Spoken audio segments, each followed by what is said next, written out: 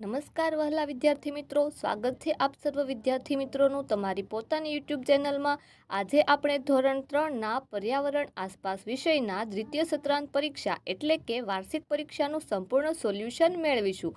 આપણી આ ચેનલમાં ધોરણ ત્રણ પર્યાવરણ વિષયના દ્વિતીય સત્રાંત પરીક્ષાના દરેક પેપરના સોલ્યુશન મૂકી દીધેલ છે. તેની લિંક ડિસ્ક્રિપ્શન બોક્સમાં આપી દીધી છે. તો જોઈએ સૌપ્રથમ પ્રશ્ન એક અ. નીચેના દરેક પ્રશ્નના ઉત્તર માટે આપેલા વિકલ્પમાંથી સાચો વિકલ્પ શોધીને તેનો ક્રમ અક્ષર પ્રશ્નને સામે આપેલ બોક્સમાં લખો.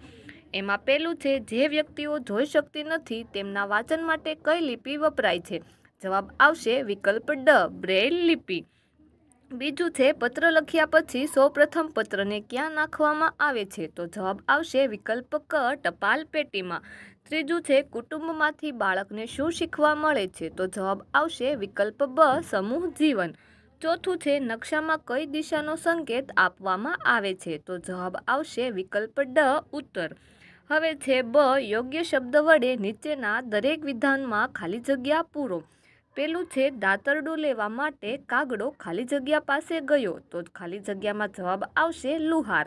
બીજું છે, બરફના ઘરને ખાલી જગ્યા કહેવામાં આવે છે તો જવાબ આવશે ઇગ્લુ ત્રીજું છે, ભારતની રાષ્ટ્રીય રમત ખાલી જગ્યા છે તો જવાબ આવશે હોકી. ચોથું છે, પાણી એ ખાલી જગ્યા સંપત્તિ છે તો જવાબ આવશે કુદરતી. પાંચમું આપણને ગરમી અને પ્રકાશ ખાલી જગ્યામાંથી મળે છે તો જવાબ આવશે સૂર્ય. છઠ્ઠું, ઘણા મળીને તાલુકો ખાલી જગ્યા બને છે તો જવાબ આવશે જિલ્લો. હવે છે બ, બંધ બેસતા જોડકા રચો. વિભાગ અમાં પહેલું બરફમાંથી બનાવેલું ઘર તો જવાબ આવશે વિભાગ બમાં ચોથું ઈગલું. હવે છે બીજું વિભાગ અમાં ઊનના કપડાં તો સામે વિભાગ બમાં આવશે સ્વેટર અને શાલ. ત્રીજું છે વિભાગ અમાં દાલ સરોવર. તો જવાબ આવશે વિભાગ બમાં બીજું શિકારા. ચોથું છે વિભાગ અમાં વધુ માળવાળું મકાન. તો જવાબ આવશે વિભાગ બમાં પહેલું બહુમાળી મકાન. હવે છે પ્રશ્ન ત્રણ અ, ખટલો બનાવવા કઈ કઈ સામગ્રીનો જરૂર પડે છે? પેલું છે લાકડું, તો એ વૃક્ષમાંથી બને છે. બીજું છે ખીલી, તો લોખંડમાંથી બને છે. ત્રીજું છે સૂતરની દોરી. તો એ કપાસમાંથી બને છે. ચોથું છે કાથીની દોરી. તો એની સામે આવશે નાળિયેરીના રેસામાંથી બને છે. હવે છે બ, તફાવત આપો. પહેલું છે સંયુક્ત કુટુંબ અને બીજું છે વિભક્ત કુટુંબ. તો સંયુક્ત કુટુંબમાં પહેલું સંયુક્ત કુટુંબમાં દાદા, દાદી, મમ્મી, પપ્પા, કાકા, કાકી, ભાઈ, બહેન તથા પિતરાઈ, ભાઈ, બહેન બધા સાથે રહે છે. જ્યારે વિભક્ત કુટુંબમાં આવશે, વિભક્ત કુટુંબમાં પતિ, પત્ની અને બાળકો સાથે રહે છે. સંયુક્ત કુટુંબમાં બીજું સંયુક્ત કુટુંબમાં કામનો બોજ રહેતો નથી, જ્યારે વિભક્ત કુટુંબમાં કામનો બોજ વધે છે. હવે છે ચોથું નીચેના પ્રશ્નના ઉત્તર એક વાક્યમાં લખો. એમાં પહેલું છે, તમારું ગામ તમારા તાલુકામાં કઈ દિશામાં આવેલું છે? જવાબ આવશે, મારું ગામ મારા તાલુકામાં પશ્ચિમ દિશામાં આવેલું છે.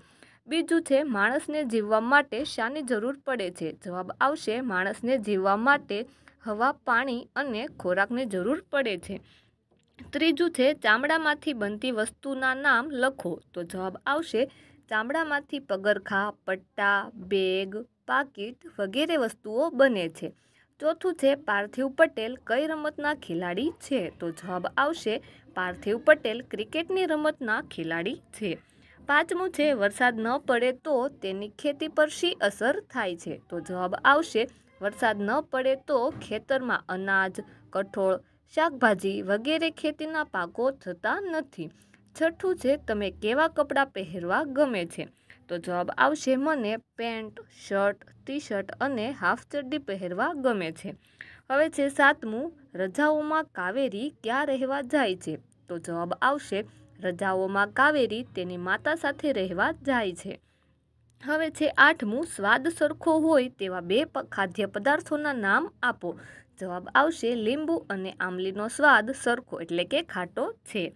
હવે છે નવમું બ્રેલ લિપિ કોને કહે છે? તો જવાબ આવશે, જે લોકો જોઈ શકતા નથી તેમને માટે વાંચવાની એક વિધ્યો લિપિ છે.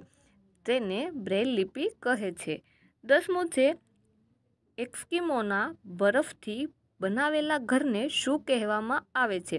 તો જવાબ આવશે એસ્કિમોના બરફથી બનાવેલા ઘરને ઈગલું કહેવામાં આવે છે. હવે છે પ્રશ્ન પાંચ, નીચેના પ્રશ્નના ઉત્તર લખો. એમાં પહેલું છે, હાઉસબોટ શું કામમાં આવે છે? તો જવાબ છે, નાવડીમાં બનાવેલું ઘર એટલે કે હાઉસબોટ પ્રવાસે આવેલા લોકો હાઉસબોટ દ્વારા સરોવરની સહે, સહેલગાહ કરી શકે છે અને નૌકાવિહારનો આનંદ માણી શકે છે. બીજું છે, ટપાલ બીજા ગામ કે શહેરમાંથી તમારા સુધી કેવી રીતે પહોંચશે?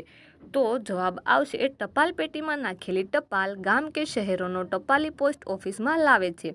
ત્યાં તાલુકા અને જિલ્લા પ્રમાણે ટપાલો જુદી પાડવામાં આવે છે.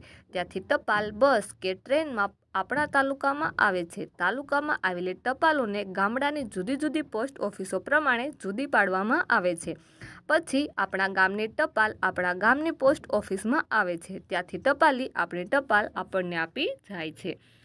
ત્રીજું છે, તમારી આસપાસ રહેતા પુરુષો અને સ્ત્રીઓ કેવા કપડાં પહેરતા જોવા મળે છે? જવાબ આવશે અમારી આસપાસ પુરુષો ધોતિયું જભો પેન્ટ, શર્ટ ટી શર્ટ કેડિયું, ચોરણો, કોટ, પાઘડી વગેરે પહેરે છે.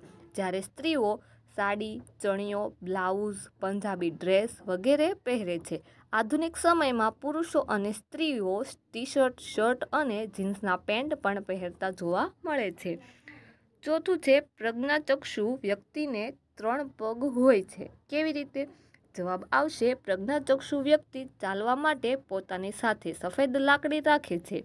આ લાકડીને તેઓ ડગલા ભરતા પહેલાં આગળ રાખે છે અને તેનાથી અનુમાન કરી લે છે કે આગળનો રસ્તો સુગમ છે. આગળ ખાડો હોય કે અન્ય બાધા હોય તો લાકડી દ્વારા ખબર પડી જાય છે. જેથી તેઓ સાવધ થઈ જાય છે. આમ લાકડી તેમના ત્રીજા પગની ગરજ સારે છે. પાંચમું છે, આપણે પાણીનો કરકસરપૂર્વક ઉપયોગ શા માટે કરવો જોઈએ? તો જવાબ આવશે, પાણી બહુ કિંમતી કુદરતી સંપત્તિ છે. ઉપયોગ લાયક પાણી ઘણું ઓછું હોવાથી આપણાથી આ સંપત્તિને ગમે તેમ વેડફાય નહીં. સમગ્ર જીવસૃષ્ટિનું જીવન પાણી પર નિર્ભર છે. પાણી વિના આપણે જીવી શકીએ નહીં.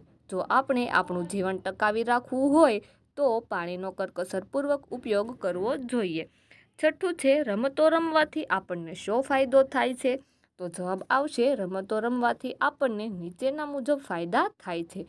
એમાં પહેલું છે, આપણું શરીર ચપળ અને તંદુરસ્ત બને છે. બીજું, આપણામાં વિવિધ કૌશલ્યોનું ઘડતર થાય છે. ત્રીજું, આપણામાં સમૂહ જીવનની ભાવના વિકસે છે. ચોથું, આપણને જીતમાં નંદની અને હારમાં કરેલી ભૂલને સ્વીકારવાની અને ખેલદિલીની ભાવના વધે છે.